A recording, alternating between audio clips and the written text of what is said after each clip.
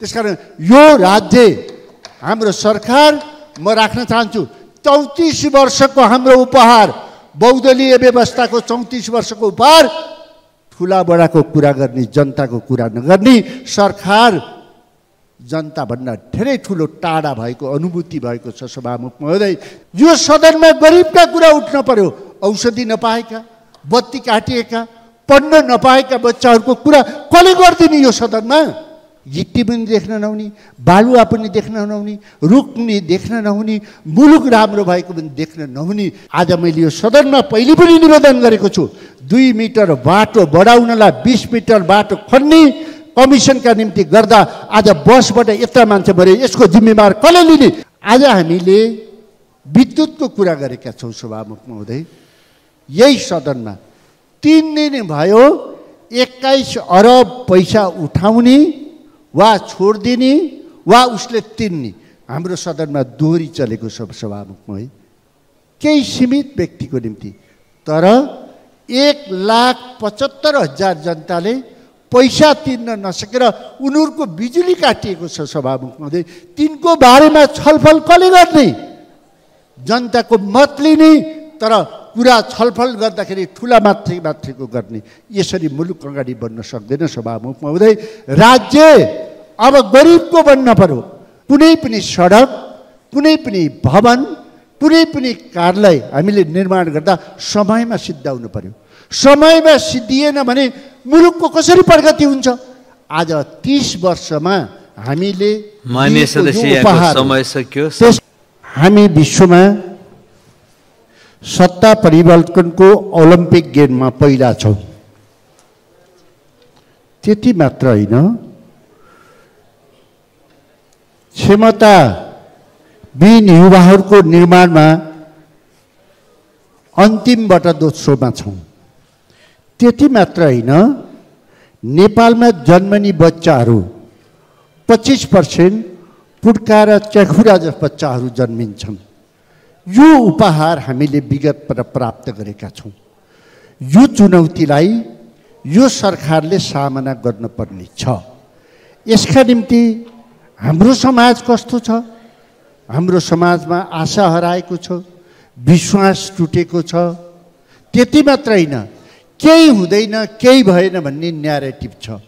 यसलाई पनि यो उपहारलाई पनि यो सरकारले पुरा गर्नुपर्ने छ। यो चुनौतीहरूको पनि सामना गर्नुपर्ने छ।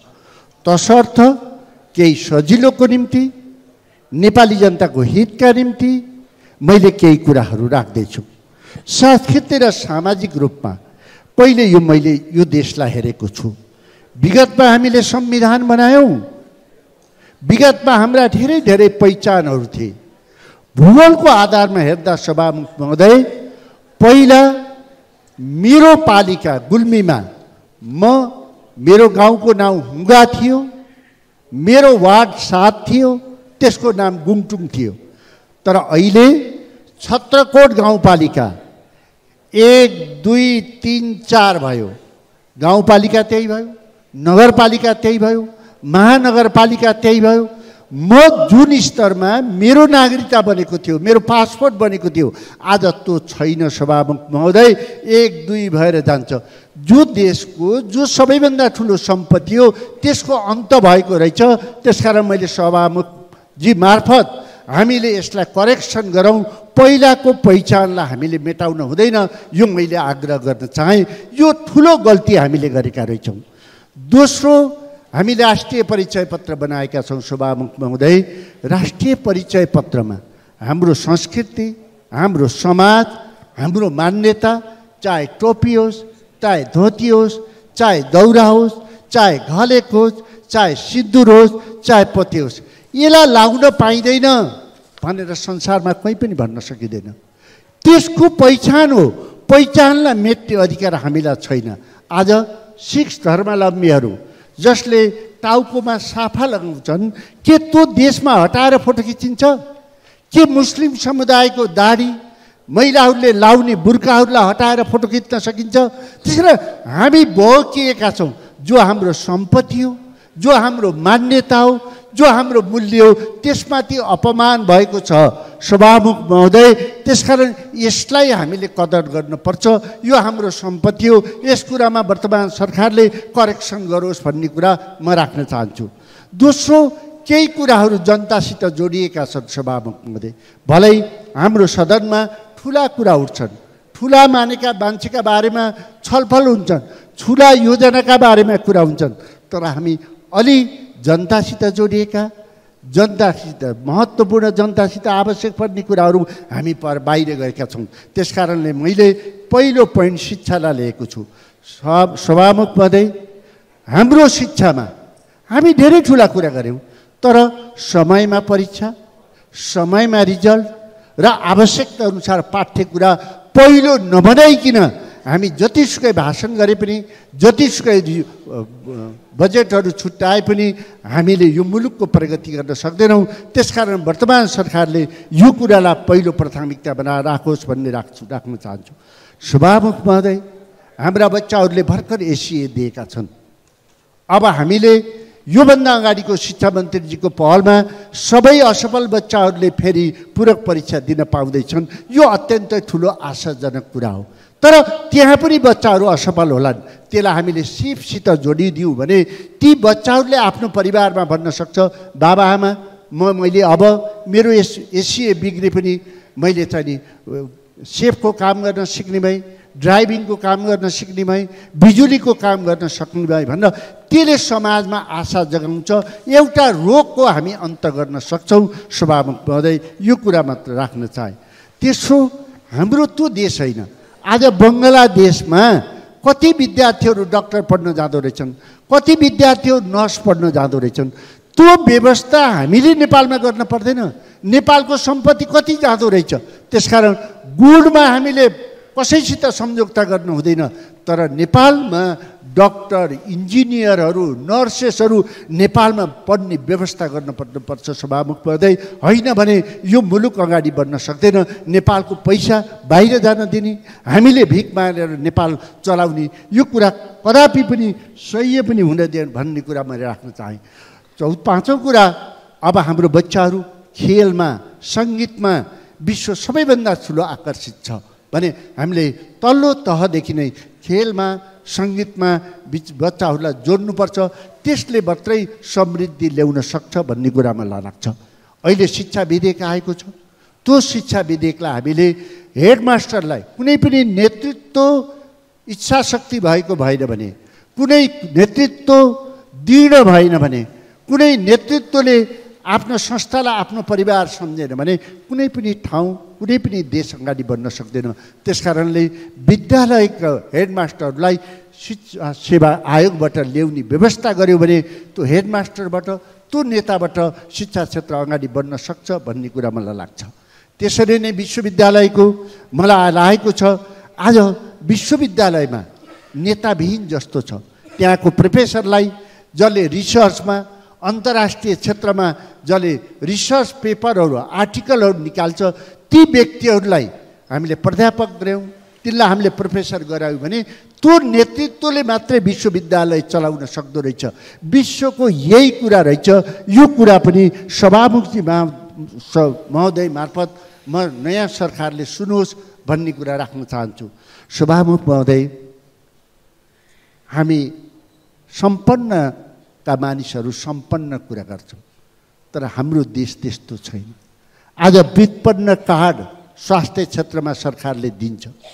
तर जसले गर्न सक्छ सरकारले निर्धारण गरे अनुसारको पैसाले अपरेसन हुन्छ औषधि गर्न सक्छ त्यस्तोलाई स्वीकृति दिन पर्यो। सभामुख महोदय अहिले त्यसको मोनिटरिङ भएको छैन व्यथिति भएको छ यसलाई नियन्त्रण गर्नु पर्यो। सभामुख महोदय म सभामुख महोदय मार्फत राख्न चाहन्छु आज गरिब जनताहरू बिरामीहरूले अलपत्र परेका छन्।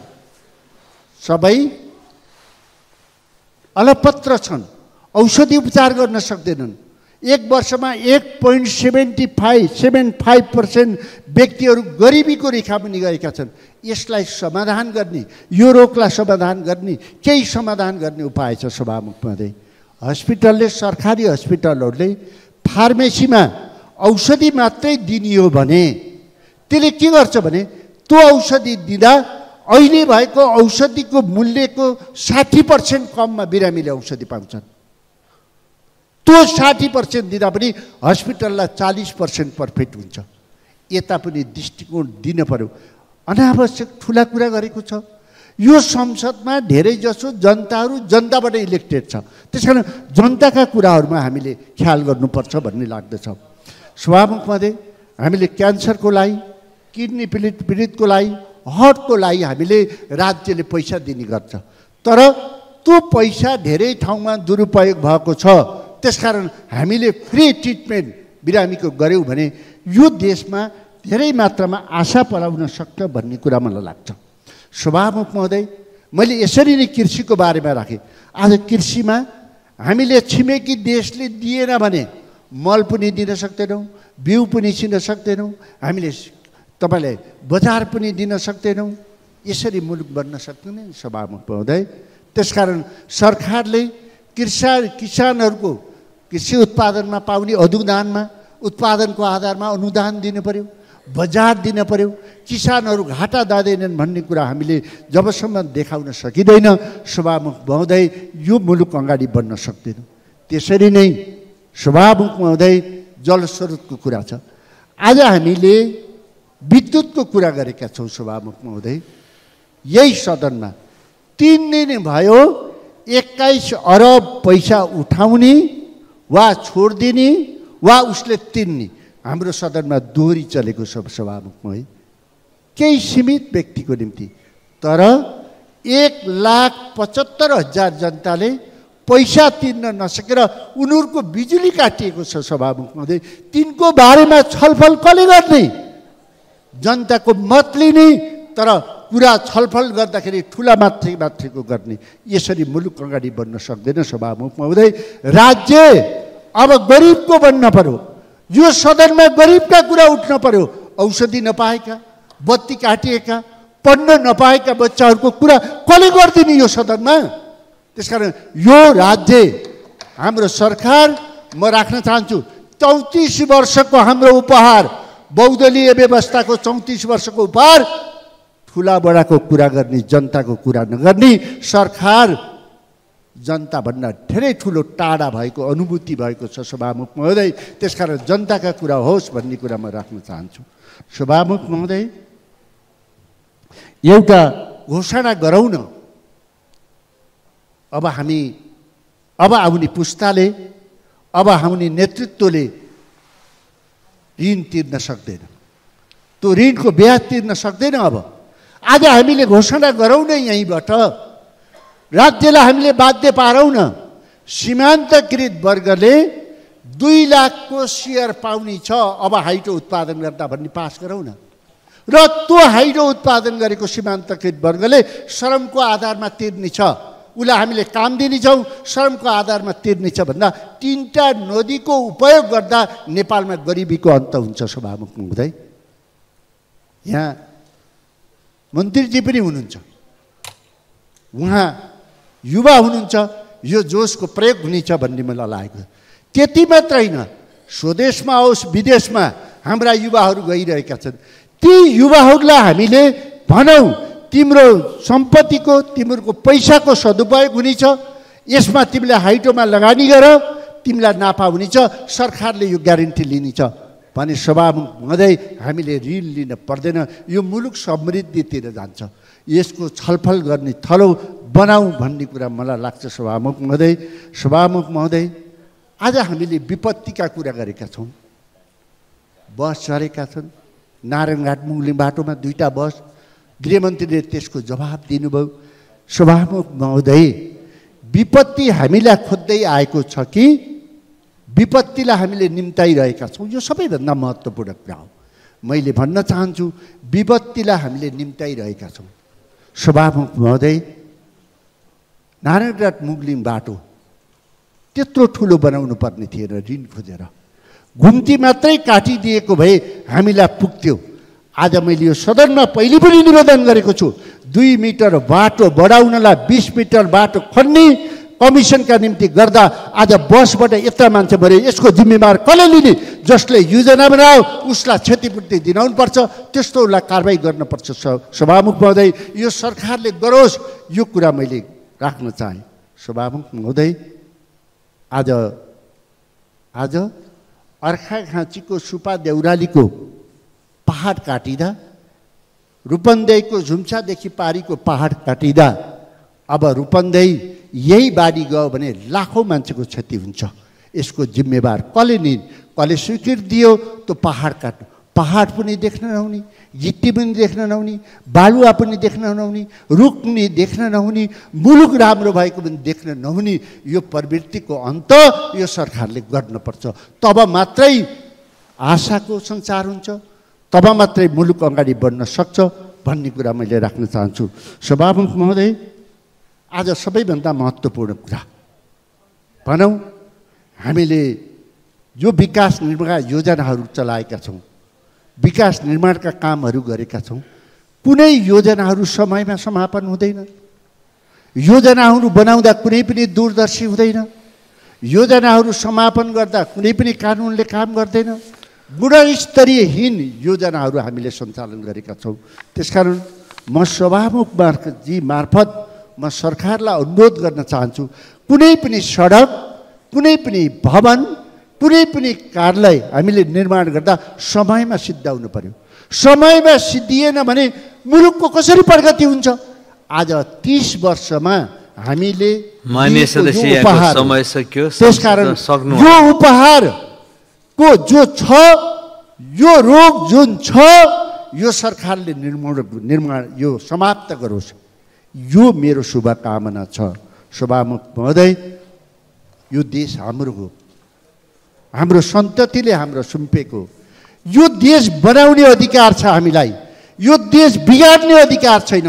यो हजारौँ वर्षदेखि यो चल्दै आएको हजारौँ वर्षसम्म जाने हो। त्यसकारण यो मुलुक जो छ आज ठुला राजनीति पार्टीहरू मिलेर यो देशको अविश्वास यो देशको विश्वास दिलाउनका निम्ति बनेको छ। त्यसकारण यो सरकारपट्टि धेरै चुनौतीहरू छन्। यो चुनौती समाधान गर्न भाषणले हुँदैन सभामुख हुँदै म हिजो भाषण गरेको सुनेर हुर्किएको भिजुअल युगको व्यक्ति हुँ। आज मैले अडियो युगको व्यक्ति हुँ। मेरो आँखाले यो भिजुअलको युगमा देख्न चाहन्छु विकासको। भोलि यसरी बसहरू नगुल्टुन् यसरी पहाडहरू नखनिउन् यसरी बिरामीहरूले औषधि उपचार नपाएर नमरुन् नेपालका युवाहरू विदेशतिर जान नपरोस् अब मुलुकले ऋण खोज्न नपरोस्।